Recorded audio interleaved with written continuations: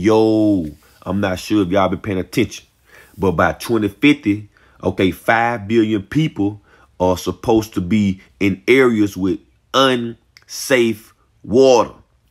Okay? Um, this article right here come from 2018. It say the reason is due to climate change, increase in demand. So I want to find a little bit more. So I started researching. Check out what I found.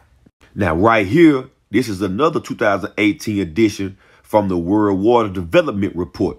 Okay? They say clean water scarcity is a major issue in today's world of 7.7 billion people. The strain on the water system will grow by 2050 okay, when the population will reach between 9.4 to 10.2. That's a 22 to 34% increase. Then I found this in the uh, UK. People are warned not to drink, cook, or brush teeth with the tap water. But check this out.